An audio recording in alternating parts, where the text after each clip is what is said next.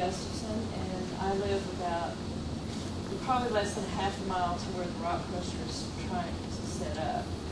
Um, Fourteen years ago, I fought a rock crusher, and at the last meeting, I went into all the detail, and I'm not going to do that today, but it just seems like in fourteen years, nothing has changed with TCEQ as far as the application and how they are very negligent about the whole setup. And Becky Dixon helped me a lot with fourteen years ago with that rock crusher, uh, when she was working for Senator Sibley.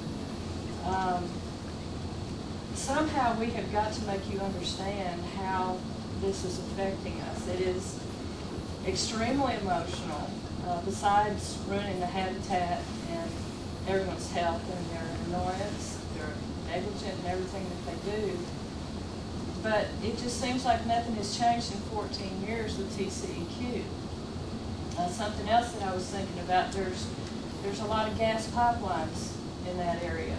Um, There's a VOR tower that's real important to DFW. I don't know how that, the emissions or the blasting would affect the VOR tower.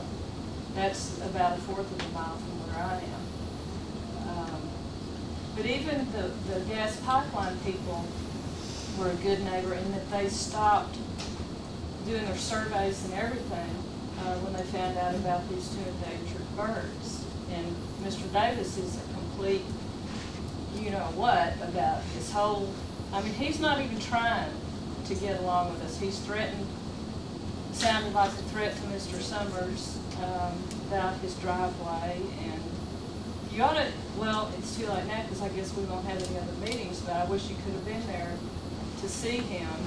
Um, It's, re- it's really an emotional, heartbreaking event. It's not just, I, I just can't even. I'm getting a picture.